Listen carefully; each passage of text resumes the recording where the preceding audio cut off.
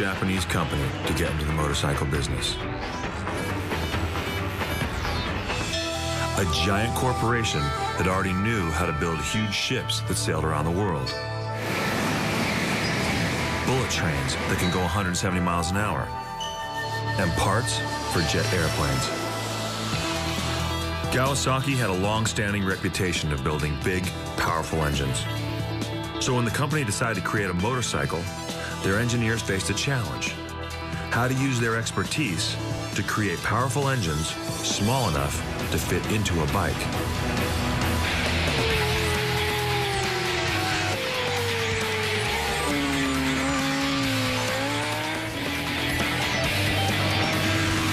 They turned the world of motorcycle engineering upside down, creating some of the most revolutionary designs ever produced.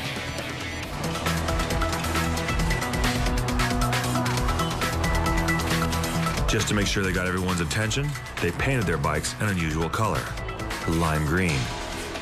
Beautiful looking green color we run, you know. The, uh, that's a trademark thing of Kawasaki. A trademark reinforced by a single word, ninja. If you tell somebody you have a Ninja, they know exactly what you're on. You're on a Kawasaki sport bike. After so much success with ships and trains and jumbo jets, why did Kawasaki get into the motorcycle business? And even with all their engineering might, could they really challenge the older, more established brands?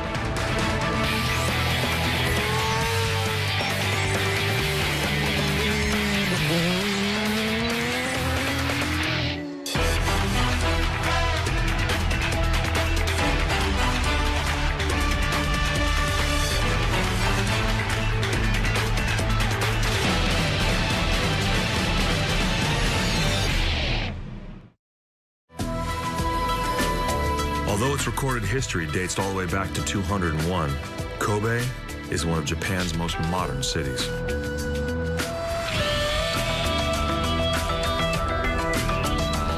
Kobe is home to more than 100 international corporations, including Procter & Gamble and Nestle.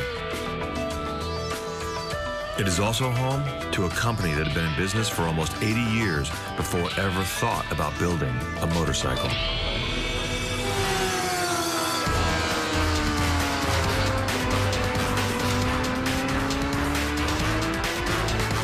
Japan is world headquarters for Kawasaki Heavy Industries.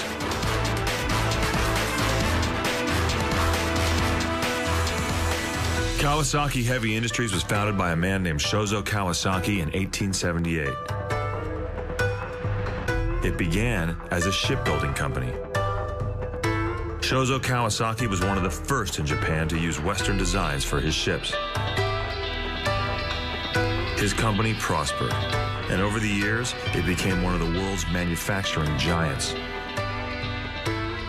Building not only ships, but trains, industrial equipment, and parts for cars and airplanes.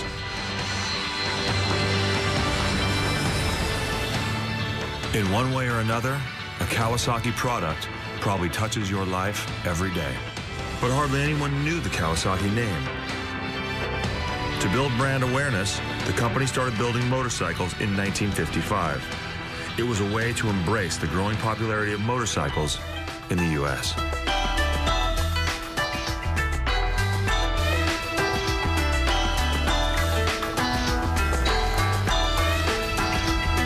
A new building in Kobe celebrates Kawasaki's history in shipbuilding and in motorcycles. In a clear reference to both American music and pop culture, the motorcycle part of the building is called Kawasaki Good Times World.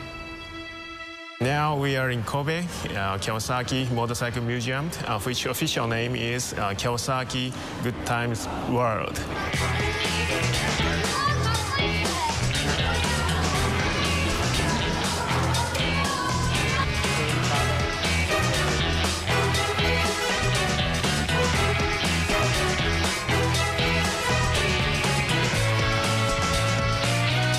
Kawasaki was third of the Japanese Big Four, including Honda, Yamaha, Suzuki, to make a motorcycle. But they had a secret weapon, a skill in engineering that would make them stand out. Kawasaki assigned engineers from its aircraft division to build its first motorcycles. And from 1955 to 1965, they created a variety of bikes.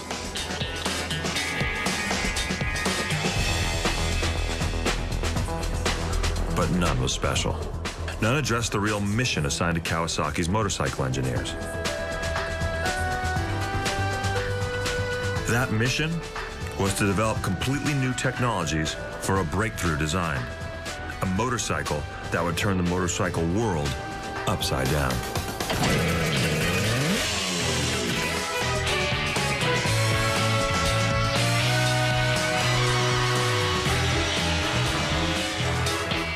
In 1968, what started out as an engineering exercise became a real motorcycle called the Mach 3.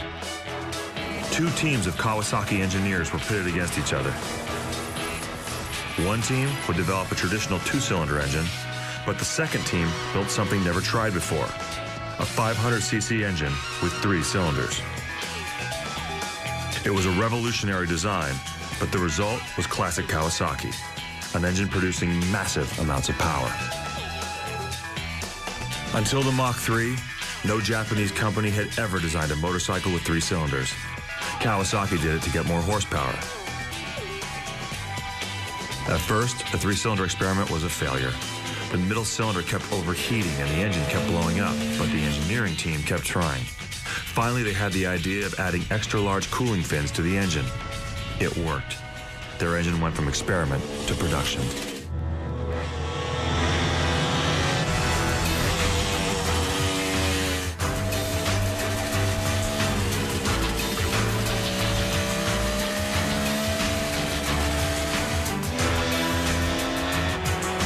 It took an entire year to solve the engineering challenges of a three-cylinder engine, but the result was worth it. When the Mach 3 went on sale in 1969, it was the most powerful production motorcycle in the world. My dad took me up to the local high school on the back of his Mach 3. He said, go sit on that curb right there. And he did wheelies by me on his Mach 3 all the way down the parking lot. And that'll stick with me forever. Those things ran hard, super, super fun to ride.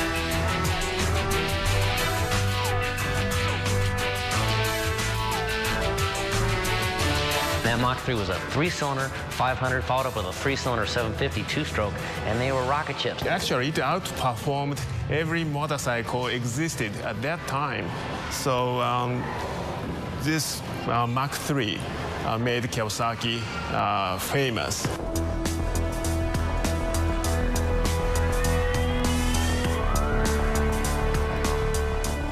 But Kawasaki would need more than just the Mach 3 if it wanted to take on Honda, Yamaha, and Suzuki. Kawasaki would need a long-term strategy. That strategy was simple. If one engineering exercise could revolutionize the motorcycle world, then what they needed to do was keep the revolution going.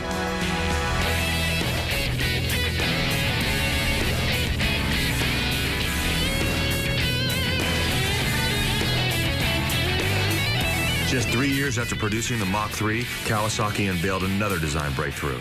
A new bike called the Z1 with a larger 900cc engine. The Z1, the 900 was amazing. You know, that, that bike made a huge impression and really established Kawasaki as a performance force.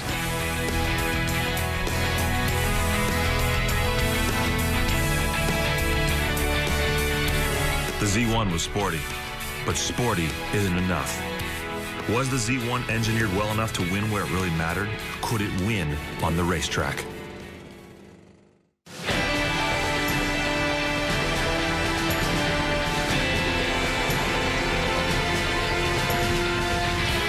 There's an old saying in the motorcycle world race on Sunday, sell on Monday. In the late 1970s, a British rider named Reg Pridmore was racing the Kawasaki Z1. Thing about racing, Kawasaki looking at that going, some publicity to be had. And, and I don't care what anybody says, racing sells bikes. Yeah, racing sells. With Pridmore on board, Kawasaki pulled ahead in its race to catch up with the competition. And it did it on racetracks in America, where Pridmore and the Z1 were almost unbeatable. It was a great bike. I loved the power because now I could go fast without having to struggle too hard for it. And uh, I did quite well on that one. Kawasaki became the first Japanese motorcycle brand to win the American Motorcycle Association Championship. With Reg Pridmore on board the Z1, Kawasaki took the title two years in a row, 1977 and 1978. Wow, that was just like riding a bike that you've known for many, many years. Uh, but in actual fact, you know, we had good brakes, we had good power.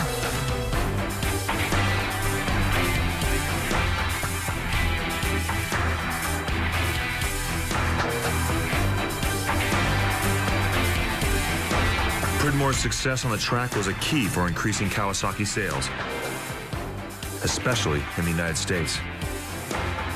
Z1 used disc brake for the first time in Kawasaki. It's a huge one compared to uh, standard size at that time. The Z1 needed good brakes. The bike you could buy off the showroom floor had a top speed of 125 miles an hour. It created uh, some standard uh, not only in Kawasaki, but uh, motorcycle industries worldwide, but super sport should be.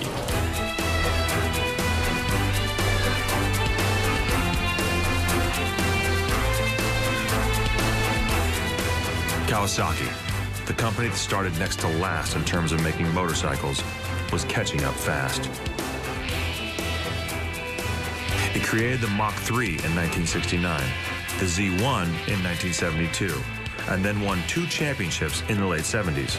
But could Kawasaki go for the jugular and totally redefine what the modern sport bike should be?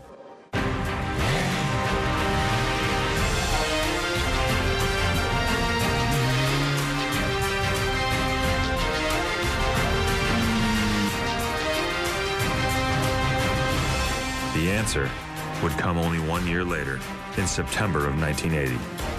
Management in Japan released a new bike they called the Z900R.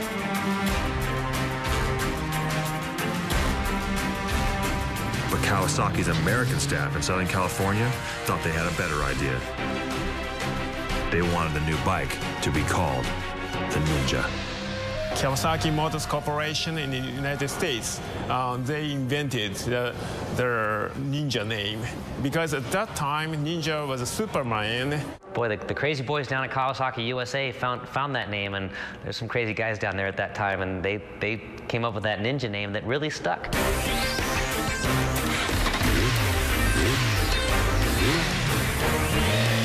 The Ninja name back at Kawasaki headquarters in Japan. It struck a balance between what would sell in America and the clearly Japanese design philosophy used in creating the bike. The philosophy that shapes could have both positive and negative qualities. This is a um, bike is a, a positive, negative is uh, combinations. And then uh, we are making the uh, positive and negatives and the uh, shadows uh, making with my design philosophies. Then sexy.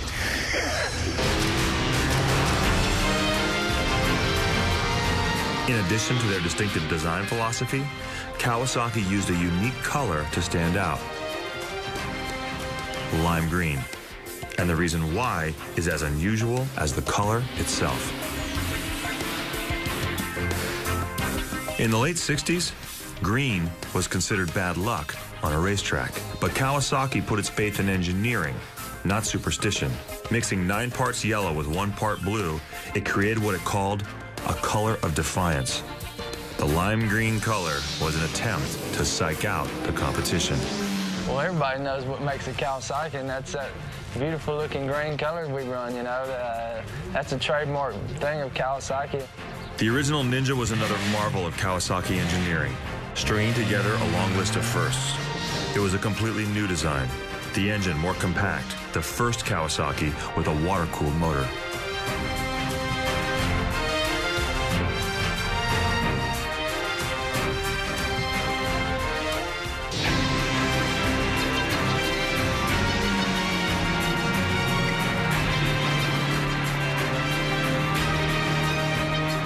Here was a bike that had, you know, racing level suspension and engine performance, and even a kind of a racer's crouch to the seating position. You know, there hadn't really been anything like it before.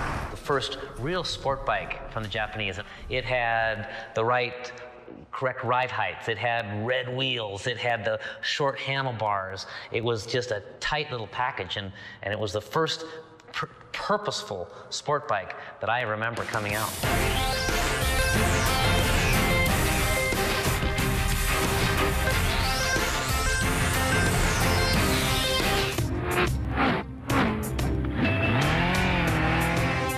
First Ninja was also the first Kawasaki motorcycle to use a computerized ignition system. It may sound simple now, but in the early 80s, controlling the air and fuel mixture in the engine by a computer was a major advancement in the motorcycle world. The significant motorcycle uh, ever Kawasaki has ever made. So significant that the name Ninja has become virtually synonymous with the word sport bike. In 1990, Kawasaki's engineering breakthroughs led to another new design. The ZX11 pushed motorcycle engine development even further. And it did it by using an old American hot rodder trick. Force more air into an engine, and you get more horsepower. In 1990, uh, this year is very important uh, because uh, Kawasaki introduced um, this um, ZX11, which is the first Ninja with ram-aired engines. It's a, um, the first ram-aired motorcycle in the world. Ram air is a remarkably simple concept. The faster the motorcycle goes, the more air that's rammed into the engine. A simple concept turned into a masterpiece of motorcycle engineering. The faster the motorcycle goes, the more powerful the engine will become.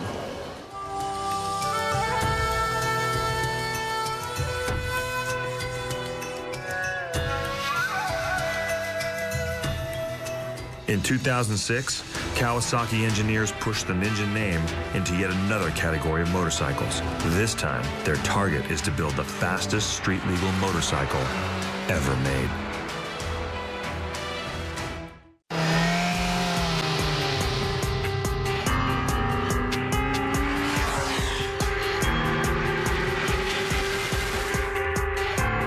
How do you create the fastest street legal motorcycle ever built? Kawasaki engineers decided the answer is size. They created a monster sized Ninja called the ZX14. The ZX14 has a 1.4 liter engine. That's a huge engine for a motorcycle and as big as engines used in many cars. In fact, the ZX14 is faster than virtually any car on the road.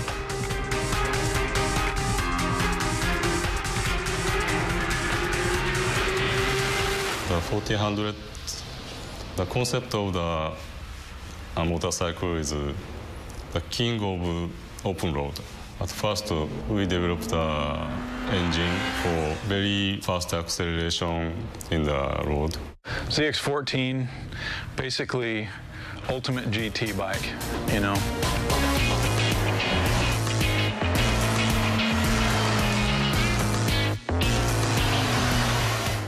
Once again, going from concept to reality would be a major engineering challenge.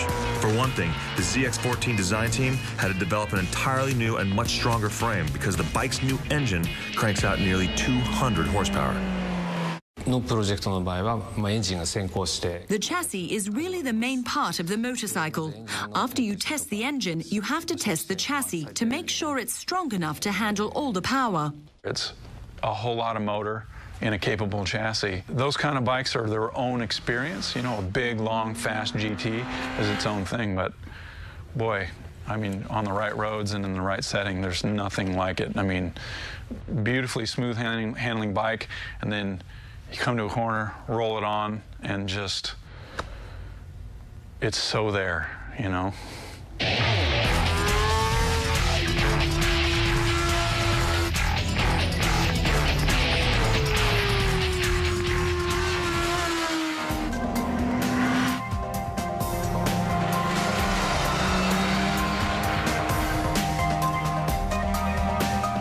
This is where Kawasaki builds the ZX14 and all its other motorcycles.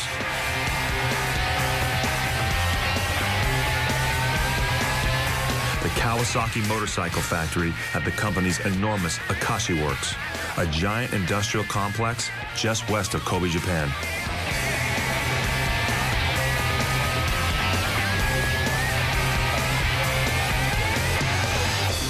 This is our final assembly lines uh, parts receiving dock.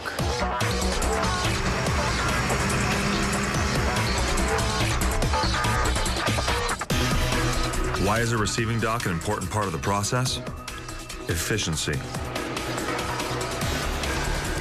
Kawasaki doesn't have to repeatedly move parts in and out of the warehouse because they use what's called a just-in-time inventory system. Parts for each bike are delivered to the final assembly lines just a few hours before they're needed. After we receive the parts, our people deliver the parts to the assembly line directly. But some medium size or big size parts, we keep couple of hours in this area. And delivering people deliver the medium parts and big parts to the line every two hours.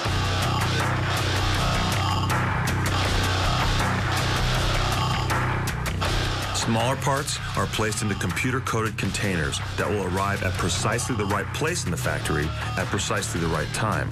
So our people just pull the cart to the line. So not necessary to handling two times, three times, four times.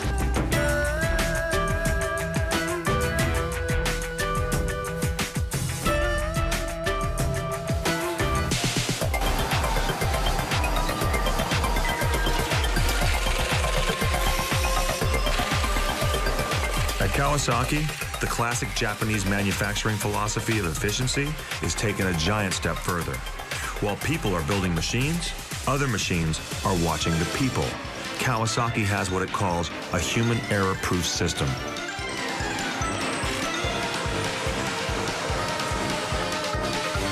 A system that begins with a collection of card-activated drawers and lights to make sure the right parts are being used for each bike. Uh, this is a human error-proof system. The, this is a sample. Each hanger has this uh, kind of uh, electric data carrier. So, for example, I'm a some areas operator. Motorcycle pass through model A. So model A parts come. So I pick up the parts and assemble.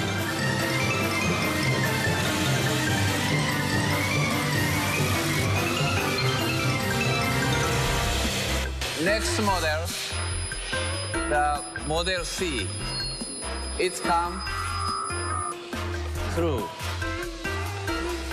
Parts C1 come, so I pick up and assemble.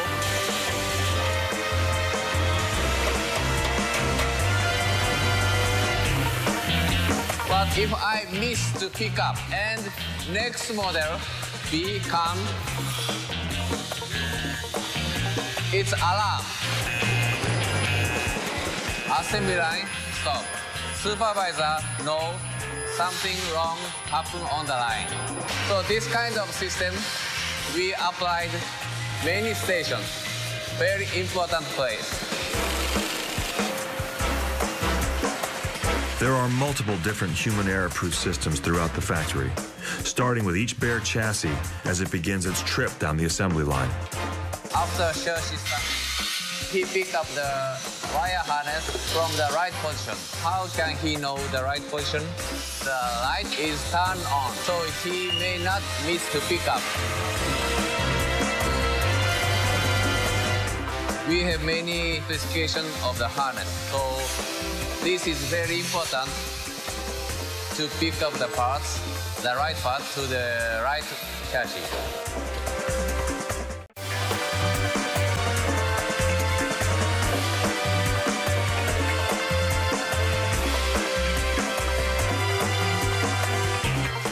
Preventing mistakes in the factory is such an important concept that every new Kawasaki employee, regardless of what job they're hired to do anywhere in the company, is required to spend their first three months working in the factory.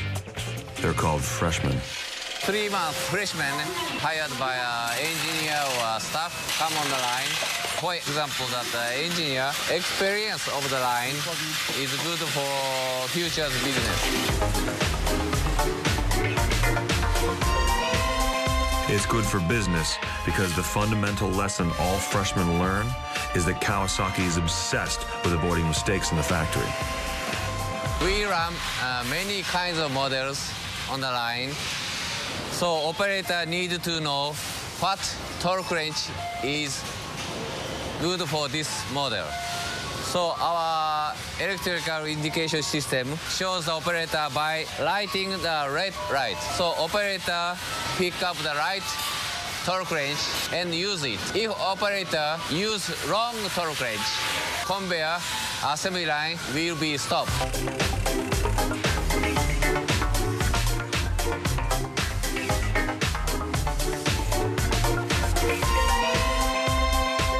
Kawasaki encourages every worker to take an active role in quality control. Any worker can stop the entire assembly line if they think there's a problem.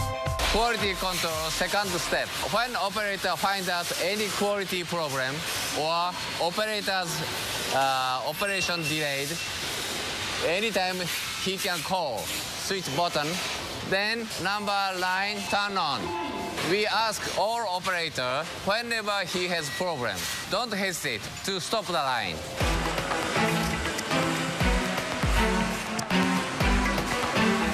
On average, the assembly line stops for three to five minutes every hour. Total downtime of this line from the morning by now. So today, uh, this line's line stop is about three minutes per hour. I guess good condition today.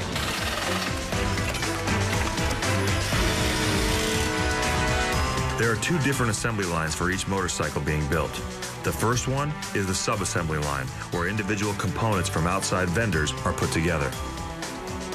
This exhaust system come outside from vendor. We set necessary parts, for example, gasket, and assemble here.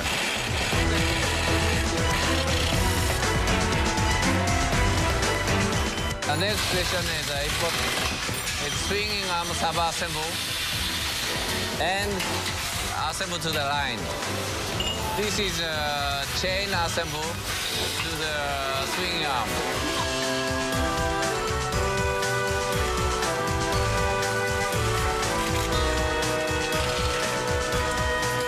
This is the final station of the sub-assembly line. We receive the front forks from the outside vendor by the order of our assembly line order.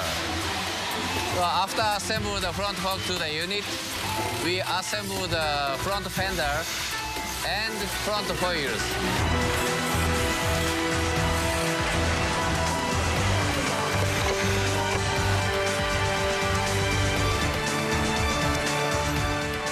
Overhead conveyor belts move what look like mechanical skeletons to the final assembly line. In a matter of minutes, they will emerge at the other end, finished motorcycles, ready to roar. The first step of the main assembly line is to put a handlebar or this kind of uh, uh, small stuffs. Here uh, we assemble the fairing. This is the middle area of the main assembly line. This is the final station of the line. Final operator check defect parts and if there is no defect, uh, he carry to the final inspection line.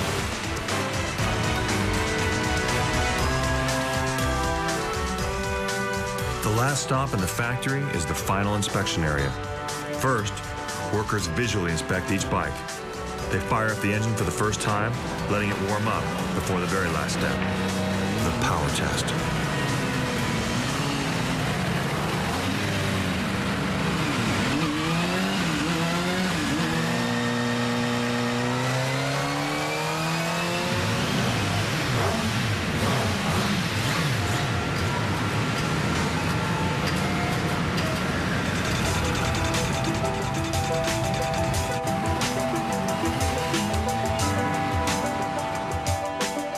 Barcode for each bike tells the power test computer what program to run.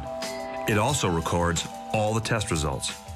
If your bike broke down three years after it was built, the factory could go back and pull up its barcode, specifications, and test results.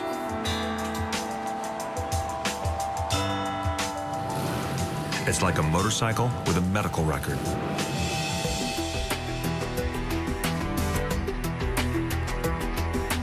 In another part of the factory, the new world of high tech meets the old world of tradition. Every time Kawasaki engineers create a new engine design, they stop to celebrate their work with what they call a new engine starting ceremony.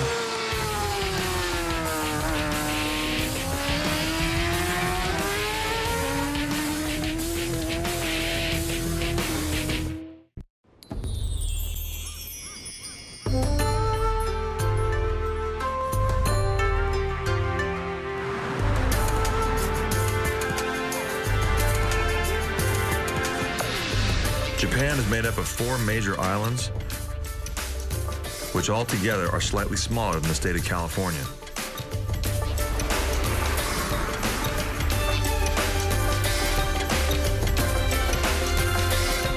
Tokyo is the de facto capital of Japan.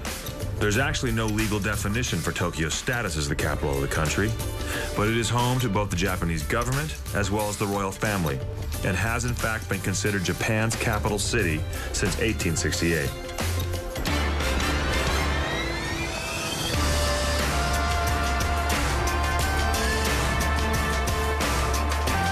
Most Westerners travel to Japan, they go to Tokyo, a megacity with 35 million people and the largest gross domestic product of any metropolitan area in the world.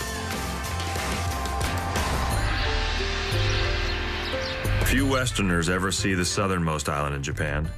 It's called Kyushu, and it's widely regarded as the birthplace of Japanese civilization.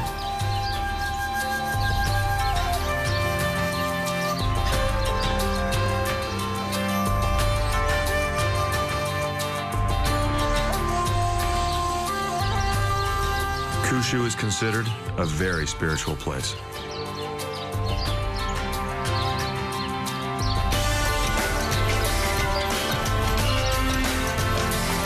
Kyushu is extremely mountainous and home to one of Japan's most active volcanoes.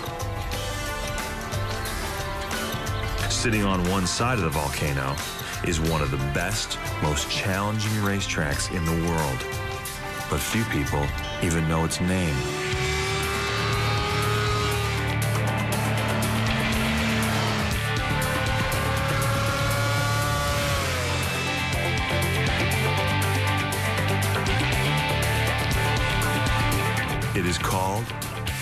Autopolis, and it takes a full day to get there from Tokyo.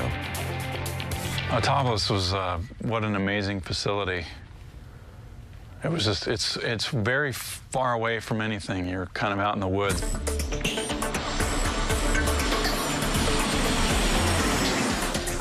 It is an hour and 45 minute flight from Tokyo to Kyushu, but it's like taking a trip back in time.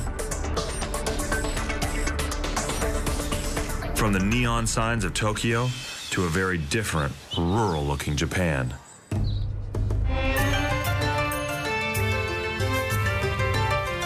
After arriving at the airport on Kyushu, the next step is a long bus ride up a narrow mountain road to the track. We took a long, long bus ride. You go on these winding mountain roads through all these little forests and everything. And then here's this huge, beautiful facility.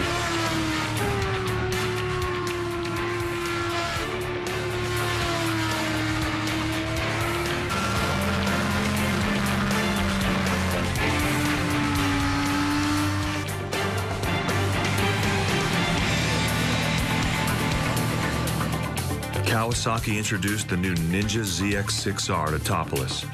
It was the first time Western journalists had ever been invited to ride at the track. Riding at Autopolis was, uh, it's a magnificent track. There's so, such a neat uh, variety of corners, and the, the grip was quite good.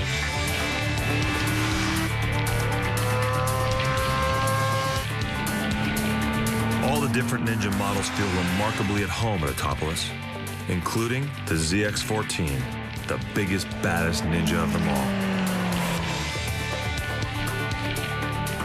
We had a ZX14 on the track, which was a scream. I mean, it's a big, fast bike, and you kind of tiptoe through the corners and pull the trigger. Really nice long front straight, and a lot of fun. Beautiful setting, too.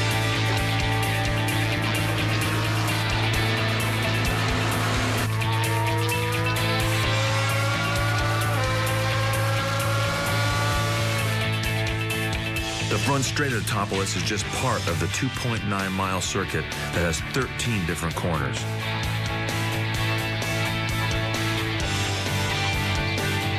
Autopolis is the only track in the world built on the side of an old volcano. It sits in the mountains 3,000 feet above sea level. And riding the roller coaster is the experience of a lifetime.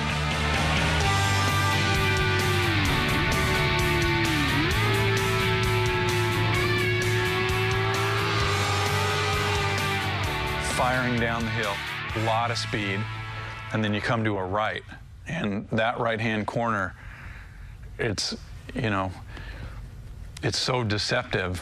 You know, you have a catalog of corners that you've seen, and you sort of try to apply what you've learned about turns to these turns. And that's the kind of corner where you look at it and you go, oh, well, I got to slow down. Well, no, don't slow down because you don't have to because you get driven into the pavement, which increases the grip, and you could just go so fast through there.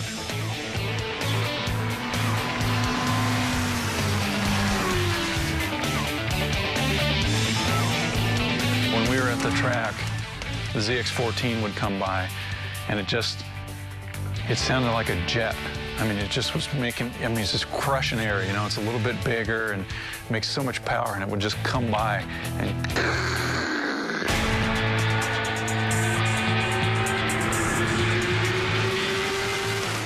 It was pretty awesome.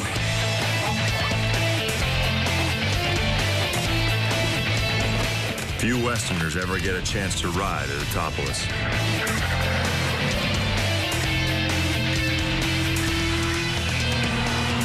Most of the time, the track is used by factory test riders, pushing new bikes to the limit. The motorcycle industry is a highly competitive business, and while Kawasaki would let one of their test riders describe a high speed lap around Autopolis, they didn't want his face or name to be made public. Uh, after you leave the first corner, you see the second corner. The second corner is the most exciting corner on the course. The next corner determines who will win or lose the race. Braking is very, very important in this corner. So if you brake correctly, you can really open the throttle when you exit.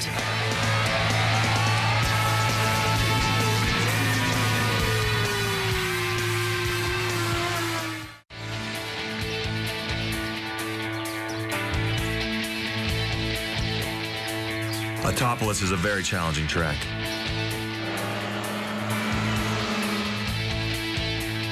Especially if you're riding the ZX14, a motorcycle with nearly 200 horsepower.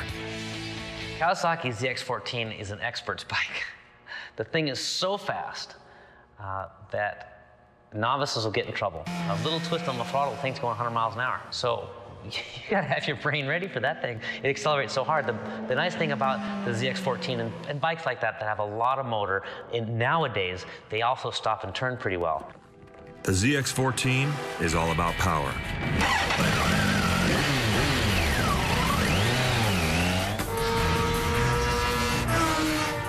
The lime green ZX6R Ninja has a smaller engine.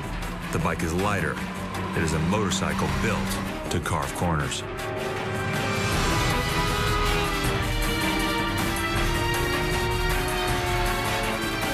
Look at that 6R and you can, you can see how nimble it is. You can see how light it is. Kawasaki's done a great job to get the weight out of it.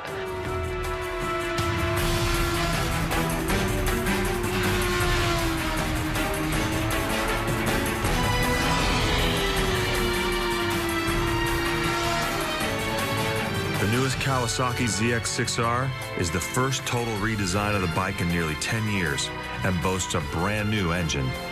It does so many things well. It'll stop, it'll turn in, it'll avoid gravel, it'll do all the things you need to do, yet it's got enough punch to take it out and win a national supersport championship on it. So that's, that's a pretty well-rounded motorcycle right there. Even though the Japanese are known for their efficiency and engineering, the ZX6R is a prime example of Kawasaki's unique passion and artistry.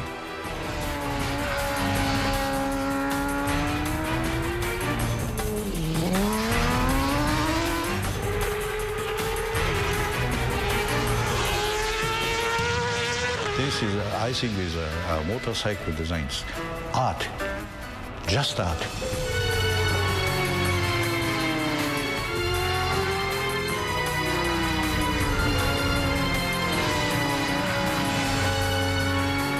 An art form that attacks your senses as hard as it attacks the road.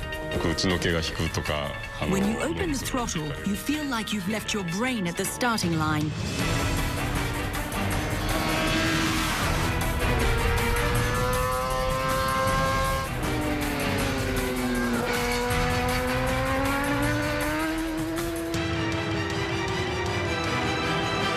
Kawasaki is such a big company, and you, you know the Japanese sort of have this reputation. I think undeserved. Everyone says, well, you know, the Italians, well, they build bikes with passion, et cetera, and as if Japanese bikes aren't built by people and there is no passion.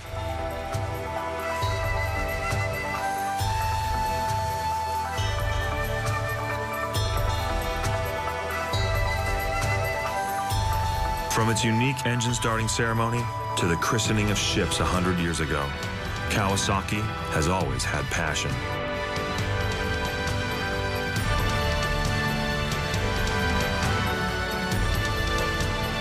The next to last Japanese company to get into the motorcycle business, Kawasaki puts its reputation on the line.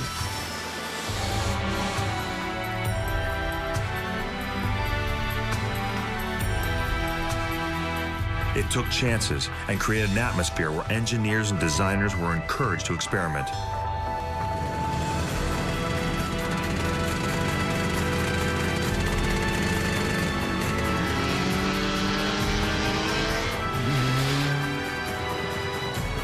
They do things differently at Kawasaki. They always have, and perhaps they always will.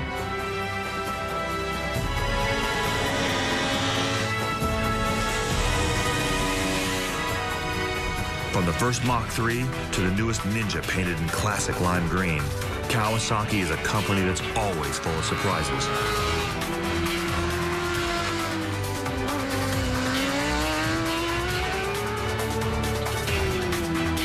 A company that has always used its engineering expertise to answer the questions others weren't even asking.